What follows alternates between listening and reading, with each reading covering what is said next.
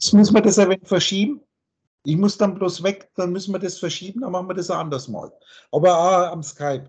Also pass auf, es ist immer dasselbe Problem. Das ist die Erkenntnis, was du selbst bist. Du bist viel zu sehr noch verhangen in, dem, in der Verwechslung mit der Heidemarie. Erstes und zweites Gebot.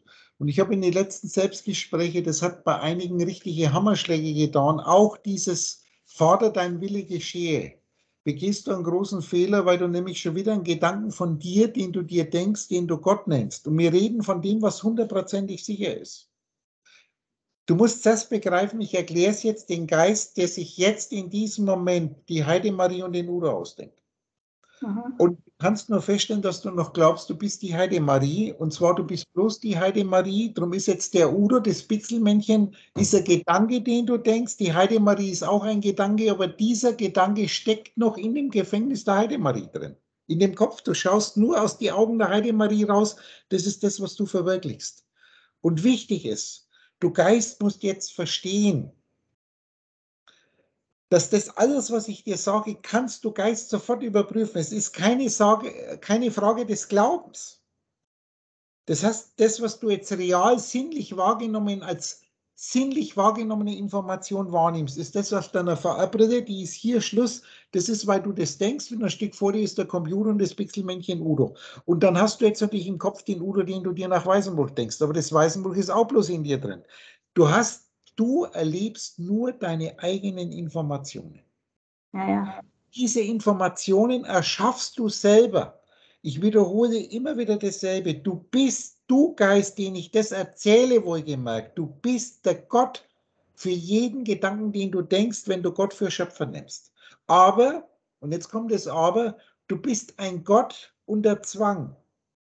Und ich sage jetzt einmal, jetzt mache ich es einfacher. Das ist so neu, das ist Holofeeling ist vollkommen neu. Und wir müssen jetzt gar nicht Wörter auffächern, so wenig wie du jetzt wissen musst, wie dein Computer in der Datenstruktur mit den Zahlen und der ganzen Elektronik funktioniert. Du musst das Grundprinzip verstanden haben. Darum nenne ich das Beispiel den träumenden Geist. Mhm. Das ist schon ein ausgedachter Schöpfer. Der träumende Geist ist der Schöpfer für alles, was er träumt. Aber er ist ein ausgedachter Schöpfer und alles, was ausgedacht ist, ist ein Dasein. Ein Kugelschreiber schreibt ein Gedicht dann wird es so sein, wie der Kugelschreiber das schreibt, aber der Kugelschreiber kann sich nicht raussuchen, was er schreibt. Und du träumender Geist kannst dir nicht raussuchen, was du träumst. Jetzt musst du nur das Vertrauen haben, dass alles, was in deinem Traum passiert, was du träumen musst,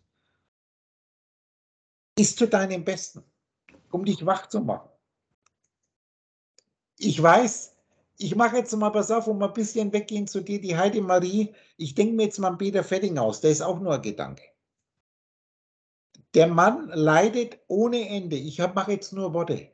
Der Gedanke, Peter Fetting, den wir uns jetzt denken, ist nur ein Gedanke. Bevor du nicht verstanden hast, dass niemals irgendeine Information von dir mitbekommen kann, was du träumst. Die Informationen kriegen das nicht mit. Die werden immer nur dann sein, wenn du sie denkst, Informationen meine ich jetzt zum Beispiel Menschen, egal wen du dir denkst. Ich könnte jetzt sagen, ich denke, wir denken jetzt einmal an den Peter Fetting oder wir denken an die Heide-Marie Grünbaum. Interessant ist ja schon dein Name, da bist du noch gar noch nicht das Grüne. Der Irak ist ja eigentlich die Mitte, das Greenwich. Denk an das Blau und das Gelb. Gelb ist immer, wo die Sonne aufgeht, blau, wo sie untergeht und in der Mitte haben wir das Grüne. Und Grün, Irak heißt ja ausspucken. Du studierst doch Holophilie. Du spuckst dich doch selber auf. Du baust in dir Bau-M, einen Baum, Baum übrigens auf Hebräisches Etz, eine augenblickliche Geburt, das ist jetzt der Körper der Heidemarie, die du dir ausdenkst. Nomen ist Omen, Kleines, ich bin ja nicht umsonst in dir auftaucht. Und jetzt ist es, die Verwechslung mit dem Körper ist so intensiv. Ich könnte jetzt als Udo sagen, mir geht es auch, ich habe hier seit Monaten, jetzt reden wir Brösel, nur Worte, nur Worte. Ich habe seit Monaten hier ein Riesengeschwür, das ist total aufgespannt, ich kann fast nicht schlucken. Okay. Und darum bin ich das Beispiel, darum bin ich das Beispiel, liebe deine Feinde. Heißt, du musst noch merken, wie einseitig dein Programm noch werdet, wie du noch ich will und ich will nicht drin bin. Und ich habe in dem letzten kurzen Selbstgespräch von gestern jetzt gedacht, mit dem Holger kommt ein schöner Satz, dass dieses, diese Bärchen, Frieden und Krieg, Sonnenschein und Regen, Du musst vollkommen wertfrei werden. Du definierst den Krieg als böse und den will man nicht. Und wenn du das zerstörst, zerstörst du das mit. Das ist eine Welle. Und dann habe ich den schönen Satz gesagt, ich sage so oft hier, Sonnenschein und Regen, was ist besser? Frau am Bauern. Du weißt, wie oft ich das wiederhole. Ja, ja. Und der Bauer schaut dich an und sagt, was ist das für eine blöde Frage? Ich brauche doch das, was wächst, wach wird, das, was wachsen kann. Auch der Geist wächst immer mehr. Nicht quantitativ betrachtet, qualitativ. Dann kann ich nicht sagen, ich brauche das und das andere brauche ich nicht. Dasselbe ist mit Frieden, ist Wachstum und Krieg ist Zerstörung. Das ist wie Sonnenschein und Regen. Und wenn jetzt ein Bauer sagt, ich will keinen Regen mehr, ich will nicht, dass meine Felder nass werden, die Schwierigkeit ist, dass dein Programm dich aufzwingt, das als negativ zu sehen. Du hast jetzt zum Beispiel die Zerstörung oder die Krankheit als Feindbild. Und jetzt kommt das große Problem, dass immer, ich mag ja, ich schaue, das ein Mechanismus. Ich mache mich jetzt zu einem ganz normalen Menschen, um dir das vorzumachen, als mich, als Dummy, dass du immer, ob das die Hüfte ist, ob du die Knie hast, wenn ich nicht laufen kann, mit der Ferse Schwierigkeiten, wir waren halt nicht jünger, dann sitzt du und du denkst nicht an das Zeug dann ist dein Körper auch nicht da. Du bist ja der Geist, der seine ständig wechselnden Informationen anschaut. Und der Witz ist wirklich, dass deine ständig wechselnde Information, das ist dein neuer Körper, wenn du das verstanden hast. Und nicht nur der Gedanke an den Körper von der Heidemarie. Nicht einmal, das ist ja nicht einmal der Körper des Heidemarie-Programms, das ist ja nur der jetzige Körper, weil du hast ja Jüngere auch schon gehabt die du dir natürlich auch immer nur jetzt ausdenken kannst. Ja. Und sobald du jetzt sagst, das Problem ist, du musst dir eingestehen, du willst noch gesund sein, du musst dir eingestehen, dass du noch sehr, sehr viele Feindbilder hast. Du musst dir selber bewusst machen, dass du immer noch, immer mehr noch ganz felsenfest davon überzeugt bist, dass dir besser geht, wenn diese Einseitigkeiten, die dein Programm dir aufzwingt, dass du zum Beispiel gesund bist, dass du glücklich bist, dass es dir dann besser geht. Besser ist es Gegenteil von schlecht. Gesund ist es Gegenteil von krank. Du musst irgendwann einmal dir die Heiligkeit bewusst machen und dein Körper ist dann heil, wenn er weder gesund noch krank ist. Um jetzt zu überprüfen, ob der Körper der Heide Marie gesund oder krank ist, musst erst einmal du an den Körper denken und dann schaust du nach und sagst, oh, mir geht scheiße oder mir geht's gut. Aber wenn es dir gut geht, das ist eine Definition von einem Gefühl, das in dir auftaucht, das das Gegenteil ist von schlecht. Und ich soll diese zwei Seiten, die eine Seite, die du anschaust, ich sage immer, wie dir positiv und negativ, sollen dich gar nicht mehr interessieren. Das heißt, dieses Liebe deine Feinde heißt, dass du wertfrei schaust, dass du zuerst einmal schaust, welche Information da ist, die ist einfach nur, das sage ich. Es gibt es ist, es gibt keinen guten und keinen schlechten Film und es gibt kein gutes und kein schlechtes Leben. Dein Leben ist wie ein Film.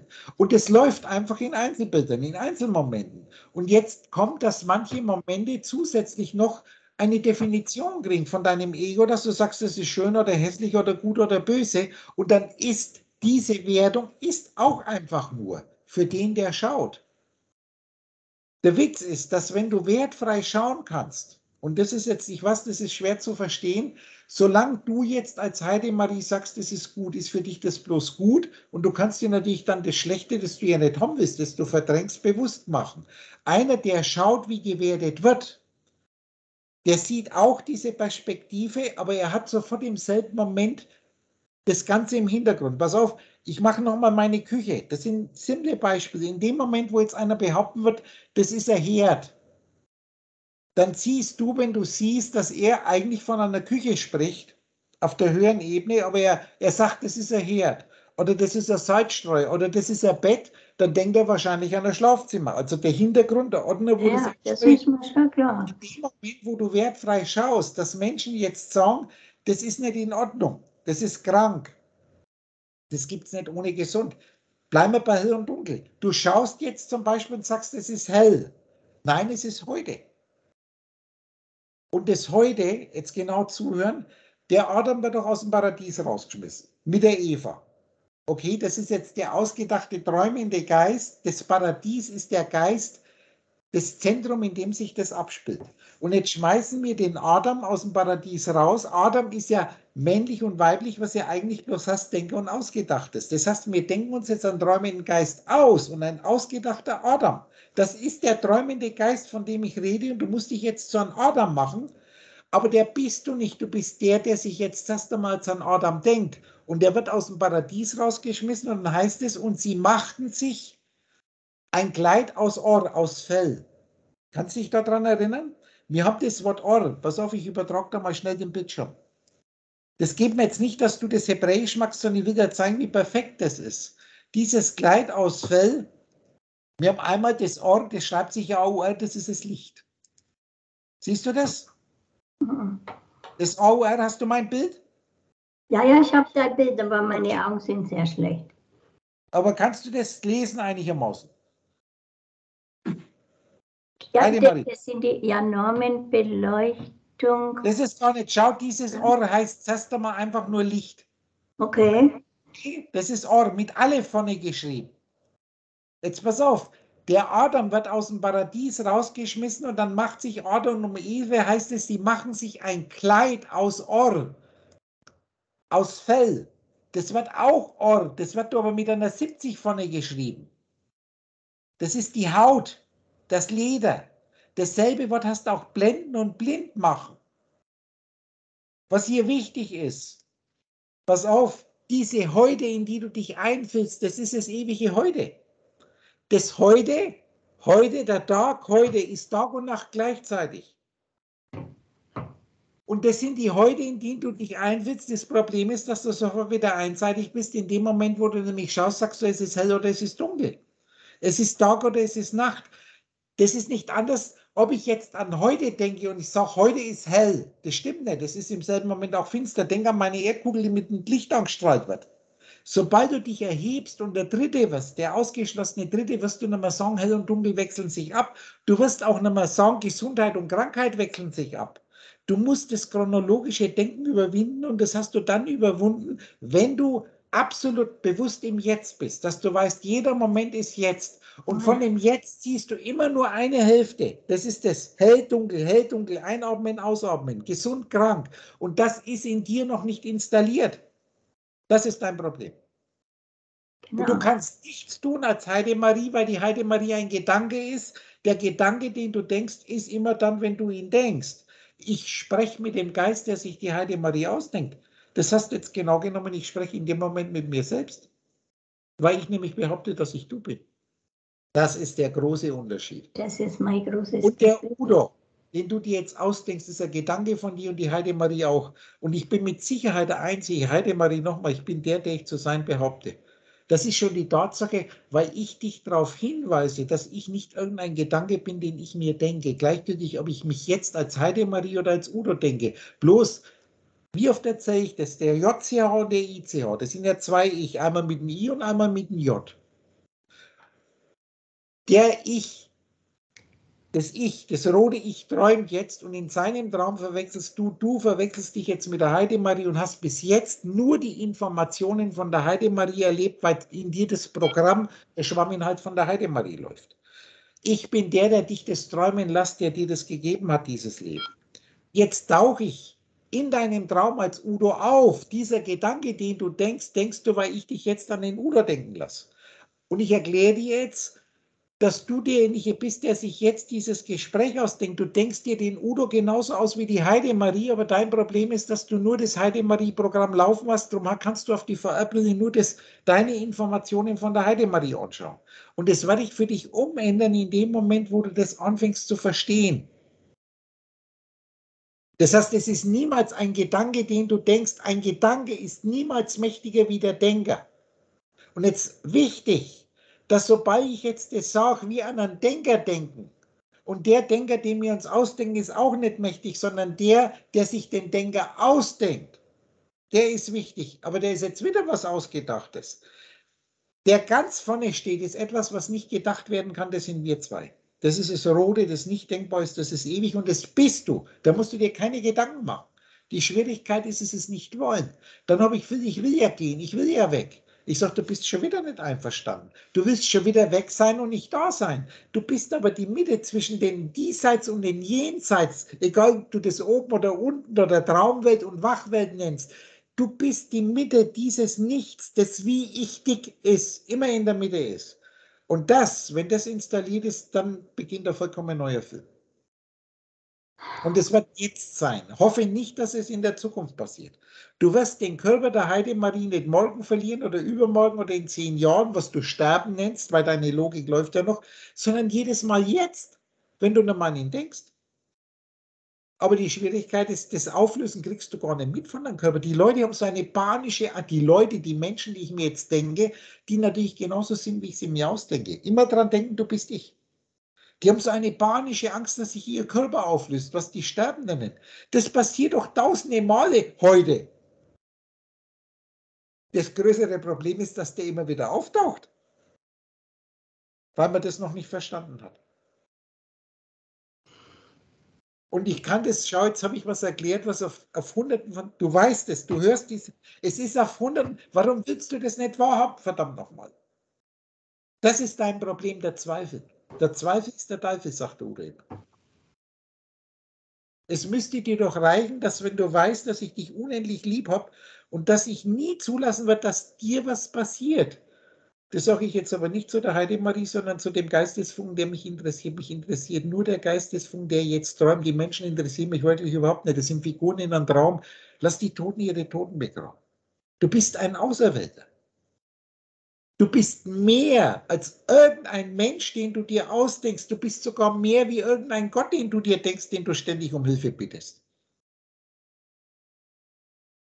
Das ist die Schwierigkeit. Man denkt sich einen Gedanken, man erschafft in sich einen Gedanken, lass uns den Gott nennen oder Geist nennen und hofft, dass der mir hilft, als wenn ein Gedanke, den du denkst, dir helfen könnte. Ja.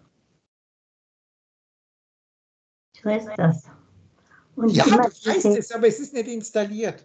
Ja, genau. Und diese Angsthase und dieses Zweifel, Ängste. Das, das wissen wir. Der Hase ist der Dachtraum. Hase. Alles klar? Ja, ja. Und, und jetzt ganz kurz noch, ja, wie schaut denn das jetzt mit dem Treffen aus und mit dem Josef? Keine Ahnung. Na? Ich mache mal die Aufnahme jetzt weg, weil